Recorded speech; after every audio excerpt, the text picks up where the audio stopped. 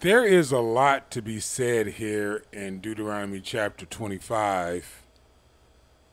A lot. I, I want to try to get through all of Deuteronomy 25 today in one video to move on to Deuteronomy 26. Um, which goes in a totally different direction. But 25 finishes off the the thread from 24. So I kind of want to do the whole thing at once.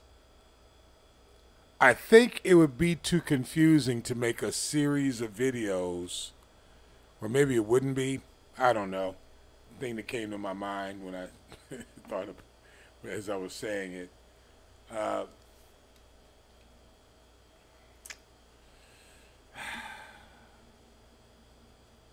I'm having a look. I, I guess I'm I'm thinking about this one, even though I believe I'm being obedient by doing this.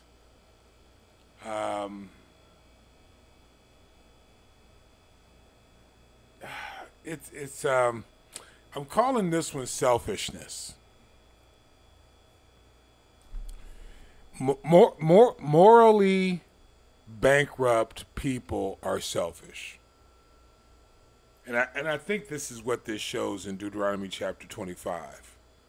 Just morally bankrupt people. People who are wicked. And, and I want to discuss that part of it uh, with you before we get into the scripture because I want to go over the, the scriptural part pretty quickly. As I'm discussing with you the importance of community,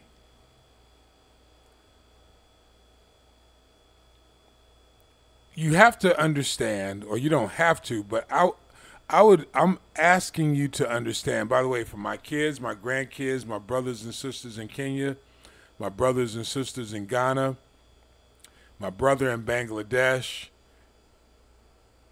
and whomever else considers me a teacher, God bless you.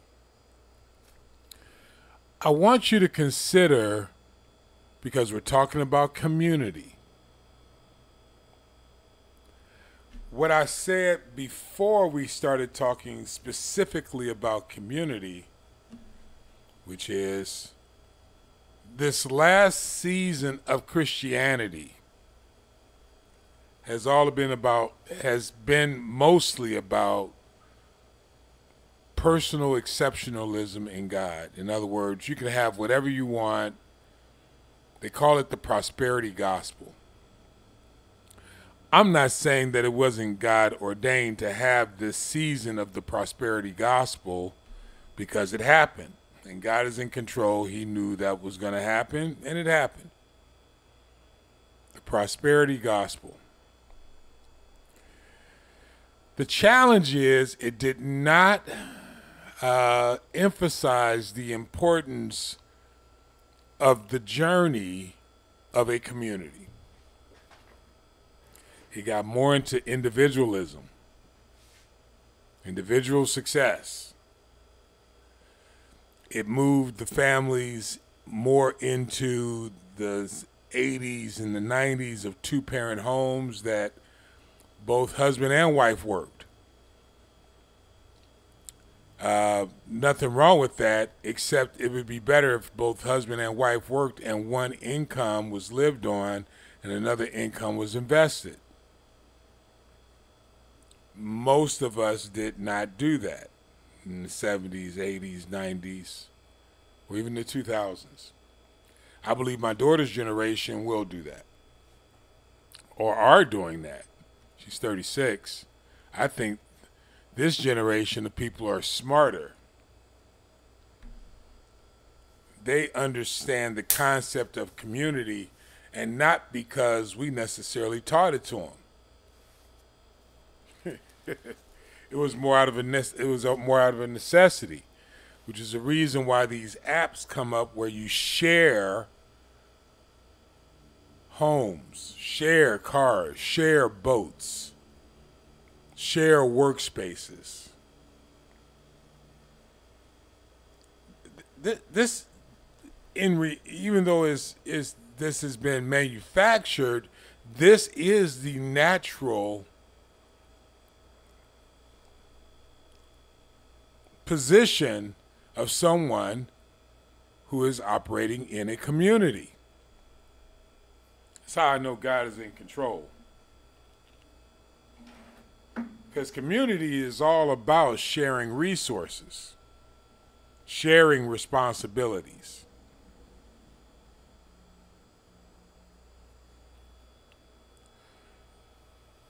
The unfortunate truth, I believe it's a truth, or maybe just a fact, but the unfortunate fact, let's go with fact, is most of us who have the understanding of individual's individual success find it a burden to take on a collective attitude. I'll, I'll, I'll, I will personally uh, admit that this thing that I'm sharing right now was hard for me because I've been doing collective stuff for a while, wanting to do things on an individual basis. When in truth, the highest and best use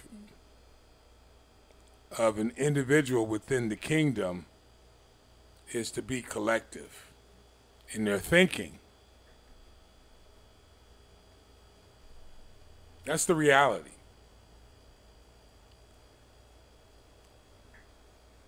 The best way to succeed is to do it with a community. Because there are things that other people understand and have wisdom in that you don't. And your willingness and their willingness to yield to each other gives you all a greater chance of success. Now, if you're talking just money success, you're missing the point. This kind of success I'm talking about is all about covering the family. If one family member is in trouble, there are other family members that come to the come to come to the person to help. I believe relationships are more valuable than money.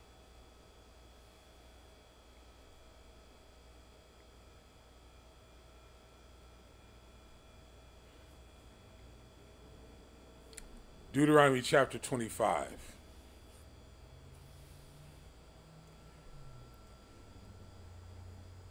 Deuteronomy chapter 25, verse 1. If there be a controversy between men and they come unto judgment that may judge them, then they shall justify the righteous and condemn the wicked. It, it didn't say the sinful.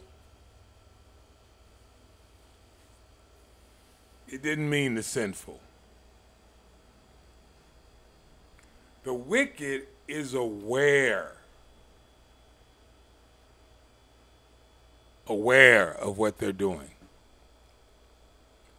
And they're doing it with the heart to be wicked.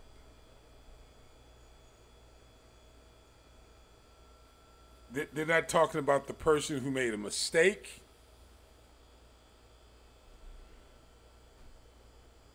Because keep in mind, this is coming towards the end of the lessons of Moses.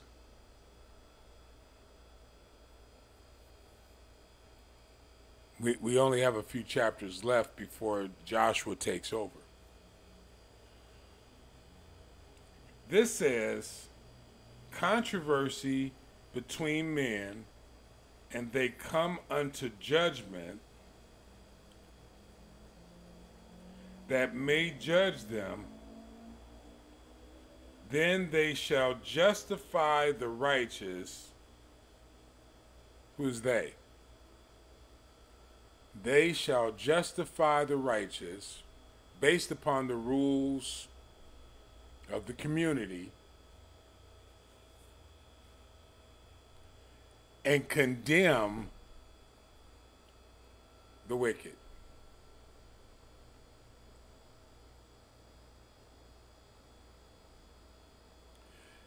This is just a morally bad person. This is somebody who doesn't want to follow the rules of the community. Not interested in being a part of any kind of solutions in the community. From this point on, it will talk about or or it, it will highlight that's the word I want some of those things. Verse 2 And it shall be if the wicked man worthy to be beaten, that the judge shall cause him to lie down and to be beaten before his face, according to his fault, by a certain number. Forty stripes, verse three. He may be he may give him not exceeding or not to not exceed, lest he should exceed and beat him above these with many stripes, then thy brother should seem vile unto thee. Forty stripes. 40 has spiritual significance. The idea, well, before we go there, no, let's go there. When you're punishing a wicked person, the idea is to get them not to be wicked. you're not educating them. They already know. You're not trying to get them to understand. They already understand.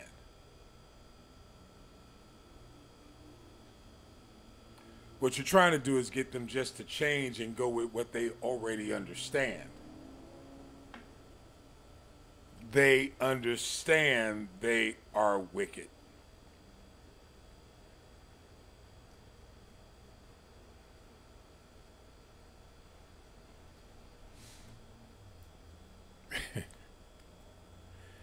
I remember years ago talking to this one guy about something, and I and I admit I was just overzealous. And um, and I've told this story before from a different perspective. He listen. He knew he he knew what he was, and I was throwing it in his face. You know, his father was a preacher, and he was treating me, in my eyes, not very well, doing the best he could to make sure that I could no longer be at the place I was at. I was fairly successful. He succeeded. He got me out.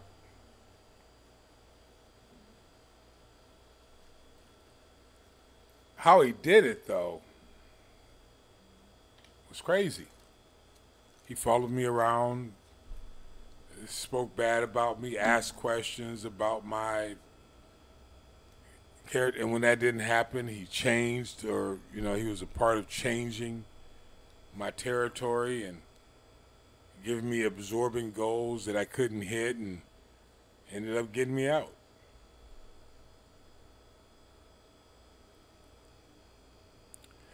when when you're a member of a community, you're looking for people to look out for you. Uh, or you don't feel like you're a member of that community. There have been communities that I was a part of, and I was made to feel uncomfortable as a member of those communities. I was uh, falsely accused in a couple of communities, proven falsely accused um, which stunts your ability to grow and your family to grow.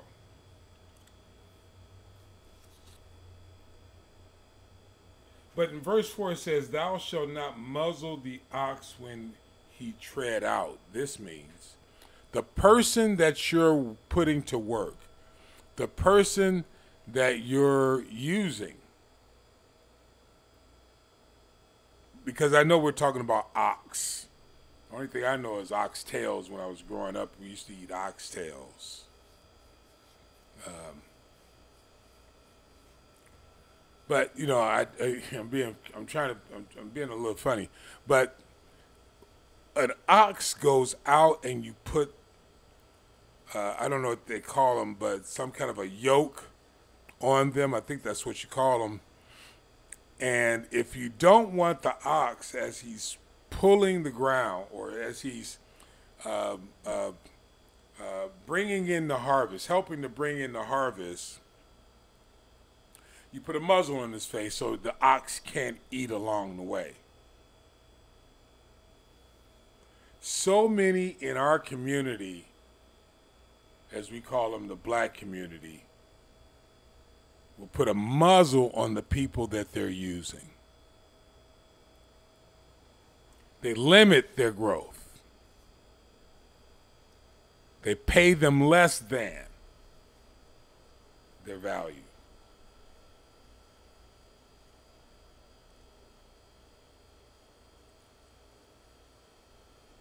Or if they if they pay them at all. they make people feel like I'm doing you a favor by allowing you to work with me. So here, take what I give you. Thou shalt not muzzle the ox when he treads out.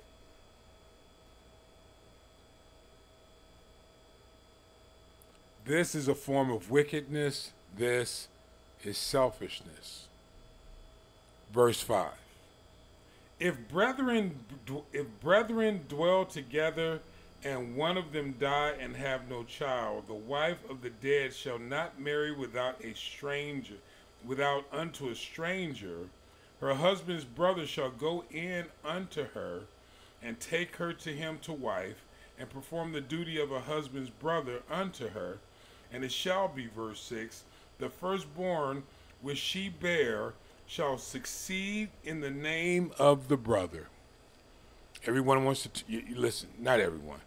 You you may want to focus on the sexuality of a brother sleeping with his husband with, with his with his brother's ex-wife. I'm sorry, with his brother's wife after he's died. The principle is to continue the name of thy brother, of your brother.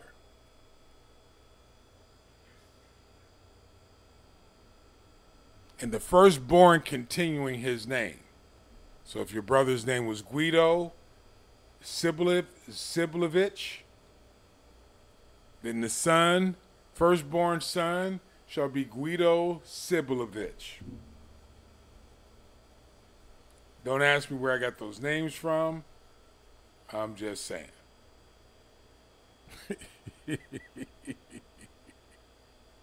the whole purpose is to raise up a family lineage. But when you're thinking selfishly,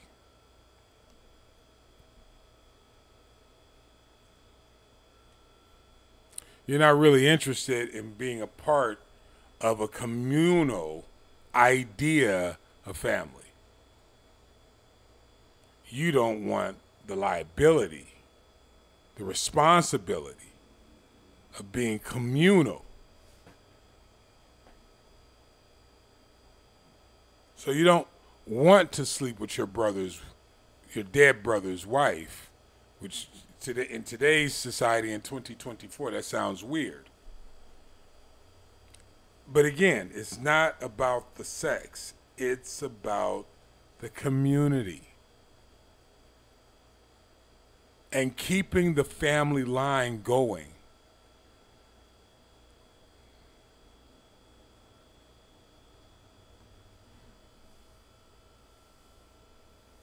Verse 6 And it shall be the firstborn which she, which she bears shall succeed in the name of the brother. Listen, I, I understand today, in especially in America, we don't follow these practices for the most part. I'm sure some may. I don't know. I don't know anyone who actually does. But the principle when my when my uh, daughter's grandfather died, uh, mom, I call her mom. Mom stayed alive, but she married into the family, and she was the second wife of the family.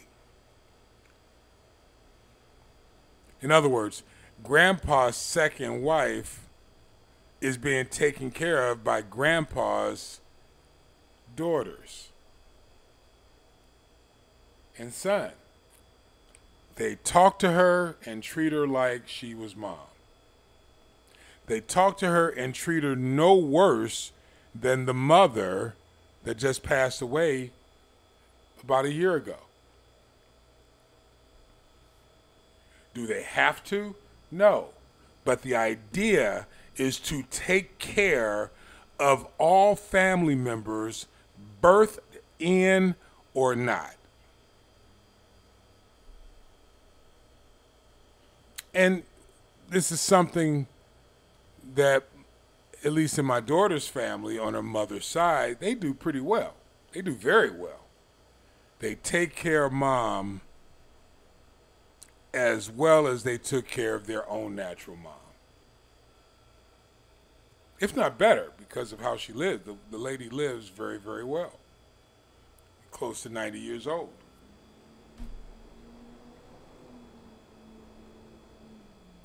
These are moral obligations.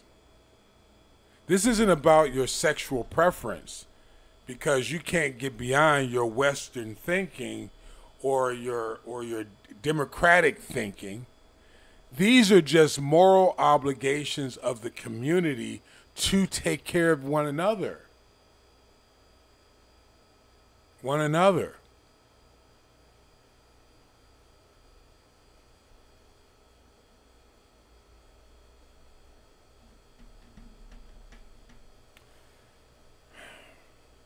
I want to jump all the way down to verse 17. We'll finish up in this, with this group of scriptures. Remember what Amalekite did unto thee by the way, when ye were come forth out of Egypt. How he met thee by the way, and smote the hindmost of thee, all feeble behind thee. And when thou faint and weary, and he feared not God. Therefore, it shall be when the Lord thy God has given thee rest from all thine enemies round about in the land which the Lord thy God give thee, an inheritance to possess it, thou shalt blot out the remembrance of Amalekite from under heaven thou shalt not forget. So I want to I want to end with this because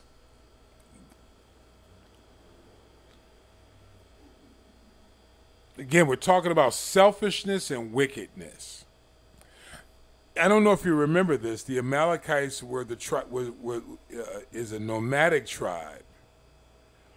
They didn't believe in the one God. They just believed that there were gods in everything which technically I get how they're thinking, but there's one God that created all. It's just not the way they thought. And the way they would win is they would go in as a nomadic tribe and adopt the practices of that that territory they're taking over.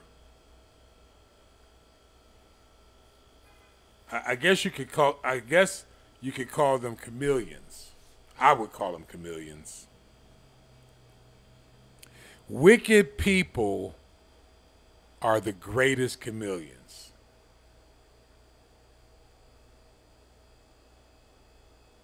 They, they know how to get what they want. They recognize that if you want something, you can make a person feel comfortable by adopting their practices, all while bringing in your thought patterns. And they take advantage of weak minded people. God says, don't forget the Amalekites or the Amalek. Don't forget them because they come in and they suck the life out of weak people.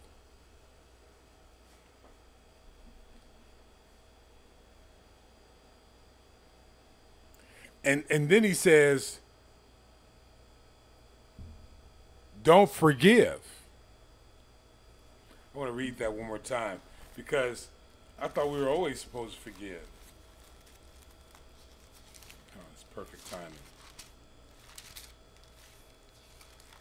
Deuteronomy 25, I think is 14, verse, uh, no, sorry, 19. And he says, Thou shalt blot out the remembrance of Amalek from under heaven, thou shalt, shalt not forget. The reason why is because when you forget, I'm sorry, not forgive, is forget. The reason why you don't want to forget is because these people, the Amalek, are savvy.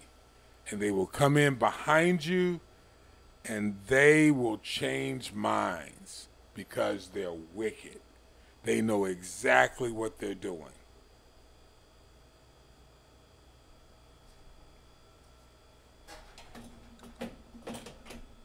The part that's left unsaid is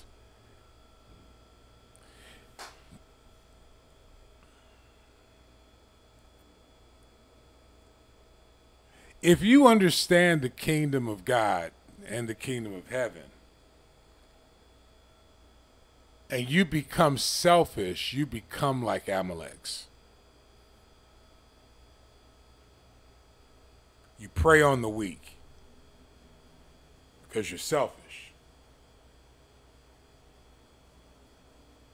Selfishness destroys the idea of a kingdom being built in the name of heaven.